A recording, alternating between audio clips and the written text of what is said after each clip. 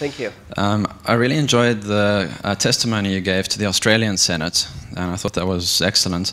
Thank and you. in it, you uh, mentioned and warned against the dangers of custodial accounts. Yes. And at that point, I realized that all of my cryptocurrency was actually locked up in custodial accounts, and by implication, it wasn't mine because I didn't have the private keys. Yes. How do you, um, in practice, use Bitcoin both as a, a long term store of value and as something that you transact with between all the options available paper wallets, um, potentially custodial accounts, um, other kinds of online wallets, etc.?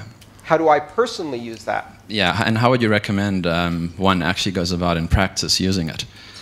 Okay. Um, since 2013, the maximum amount of time I have left currency, crypto or fiat, on an exchange is 15 minutes.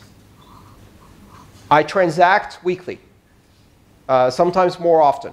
I don't day trade, that's not my purpose. I use it as a working currency. I get paid in Bitcoin, I get paid in Ethereum. Uh, I use these currencies to pay my bills, to live. Um, I live in the Bitcoin community. And so I have to transact, and I often have to exchange because I can't always buy the things I want with cryptocurrencies. Um, how do I exchange? In and out.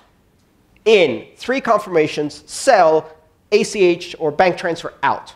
I don't even leave fiat on exchanges. I don't trust them to hold money.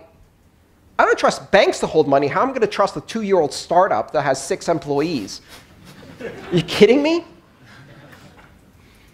So I don't leave money on exchanges. Now, that's difficult to do if you're day trading. And if you're day trading in this environment with these, you know, these assets of great volatility, I mean, you're a brave person. Um, now, how do I use it? Um, most of my holdings are in tiers. So think of it as warm or hot to cold all the way down to deep freeze, right?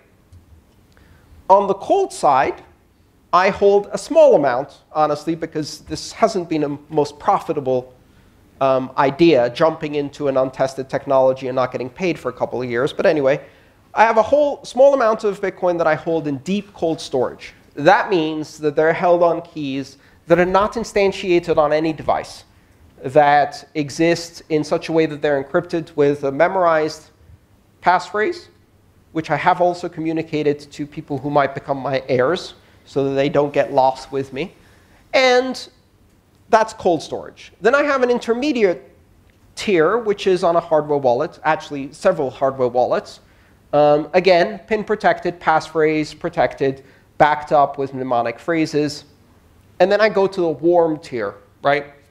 I have a, a small amount of operating cash that I use for my businesses to pay subcontractors, et cetera, et cetera. Those are in multi-signature, either multi-signature, multi-party wallets, meaning there are other people who are required to consent, or multi-signature, multi-factor wallets, in which case I'm the only party, but I have several devices that need to sign independently in order to exercise a transaction. And finally, I have my hot hot wallet, which is in my back, po back pocket and is at the moment mycelium. I keep a couple hundred dollars, mostly for the purpose of giving everybody a Bitcoin as if I'm the Oprah of cryptocurrencies. You have a Bitcoin and you have a Bitcoin. Well, actually, a millibit because things are going well. A millibit for you and a millibit for you. So, to, to answer your question, I have tiers. And I never keep on my hot wallet more than I'm comfortable keeping in cash in my physical wallet as fiat. Um, and I often have to move things around in order to manage it. So far, I have only lost Bitcoin through my own stupidity. Like, for example, misplacing a backup and then trashing my phone. I've lost small amounts, like less than $100. Um, I've never been hacked. Fingers crossed. I don't assume I won't be hacked. I assume I might. But as long as it's on the warm side of my wallets, I can take that risk. All right. So. Uh